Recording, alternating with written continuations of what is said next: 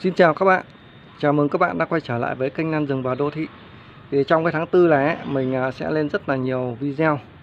Điểm tháng tư này và tháng 5 nó là cái thời điểm mà giao mùa giữa cái mùa xuân và cái mùa hè. Trong cái thời điểm này ấy, là cái thời điểm mà cái cây à, lan của mình nó đang trong cái quá trình um, bắt đầu nó phát triển kỳ sinh trưởng mới. Thì trong cái giai đoạn này ấy, mình phải cần phải chăm sóc cho cây lan của mình thật kỹ. Chăm sóc cây lan như thế nào? Bằng cái gì dinh dưỡng gì và chăm sóc như nào để cho cây lan mình được tốt. Thì khi cây lan được tốt ấy thì à, nó phải liên quan đến cái việc là mình phải phòng được bệnh cho cây lan của mình. Khi cây lan của mình không bị bệnh thì đồng nghĩa việc là cây lan của mình là phát triển sẽ mạnh. Trong thời gian này ấy, thì mình sẽ lên từng video một à, video nói về cách chăm sóc và video nói về cách phòng bệnh ở trên những cây lan. Và chăm sóc cho cây lan ở trong vườn lan của mình được một cách tốt nhất à, tốt hơn thì à, các bạn hãy nhớ bấm đăng ký kênh và theo dõi kênh để theo dõi những video sắp tới mình ra.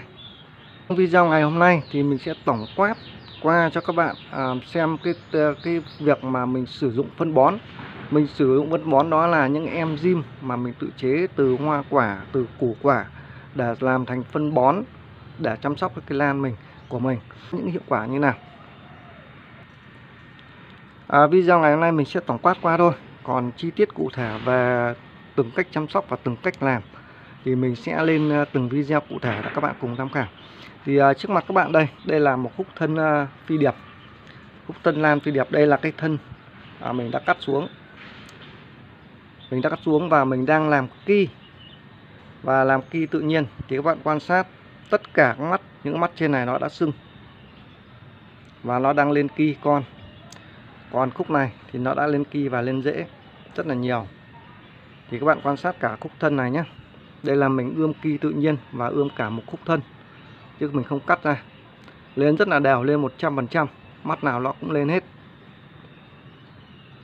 Thì đây nó là cái công dụng mà mình ươm ki mình làm ki thì ki nó chưa ra, nó đã có rễ rồi. Thì đây là toàn bộ là rễ tự nhiên rễ rất là nhiều và khỏe thì đây nó là cái công dụng mà mình sử dụng enzyme gừng. Đấy, enzyme gừng làm từ củ gừng. Mình chăm sóc cây lan. Thì khi mình ngâm ki ấy, thì nó được như này. À, chi tiết cụ thể và cách ngâm ki tự nhiên mình sẽ làm cái video sau. Thì các bạn nhớ chờ đón xem nhé. Nói qua về phân bón enzyme mà mình tự làm mình tự chế ra thì nó gồm rất là nhiều loại. Thì hiện tại giờ là mình đang chia sẻ cho các bạn là 5 cái loại à, enzyme được làm từ hoa quả. Thì thứ nhất là cái enzyme gừng thứ hai là enzyme nha đam thứ ba là enzyme đậu lành thứ tư là enzyme dứa và thứ năm là enzyme chuối. À, với năm cái loại enzyme này à, để mình muốn chăm sóc cho cây lan của mình được một cách rất tốt nhất cây khỏe mạnh nhất thì mình phải biết điều tiết mình sử dụng năm cái loại enzyme này ở trong suốt cái chu kỳ sinh trưởng của cây lan. Từng giai đoạn sinh trưởng của cây lan như nào thì mình sẽ từng áp dụng từng cái loại enzyme à, để chăm sóc cho cây lan. Thì đây là cái cách mà mình sử dụng phân bón để mình chăm sóc cho cây lan mình được tốt và có hiệu quả. Có hiệu quả như là cách mình ươm kỳ đây. À, rồi thì bây giờ mình sẽ quay ở trong vườn lan của mình cho các bạn tham khảo à, cái những cái mầm gốc cây phi điệp cái mùa này là mùa bắt đầu phát triển mầm gốc của phi điệp thì các bạn quan sát là xem ờ, cái cách mà mình sử dụng ờ, uh, enzyme mình chăm sóc cho cây lan. Thì những cái, cái, cái mầm gốc của cây lan phi điệp đến hiện tại bây giờ cái độ tăng trưởng của nó như thế nào nhé các bạn nhé. À, trước tiên đây là một chậu phi điệp của mình. Thì đây nó là cái bộ mầm gốc. Thì uh, cái bộ mầm gốc này thì nó mới phát triển được uh, cây to, cây mầm to nhất là phát triển được 20 ngày. Thì uh, đây là cái bút bi thì mình sẽ so sánh cái gốc nha các bạn nhé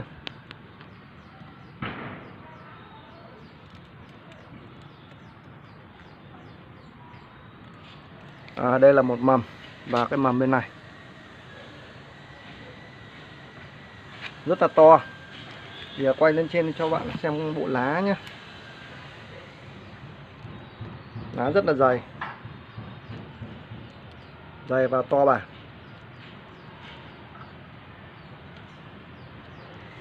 lá rất dày các bạn? Cực kỳ dày luôn. Và tiếp theo đây là một mầm phi đập à, phi điệp phát triển được 30 ngày. Là bắt đầu đầu tháng 3 ấy, là bắt đầu là cây phi điệp mình là sưng mắt gốc. Và đến hiện tại bây giờ là tròn 30 ngày.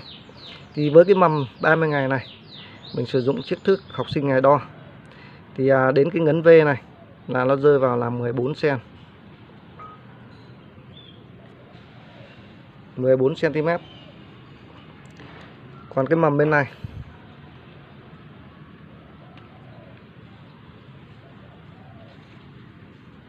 Mình cũng lấy thước mình đo. À, cái mầm này thì được à, 16 cm được khoảng 16 cm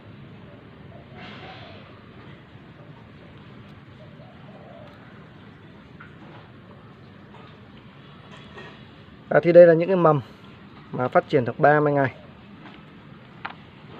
Lá rất xanh và dày.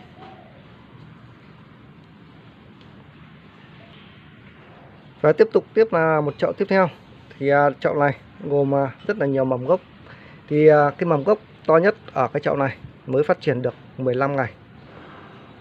Thì đây là những cái bộ mầm mà mình sử dụng phân bón là em gì mình chăm sóc được 15 ngày kể từ khi là bắt đầu là nó sưng mắt gốc lên.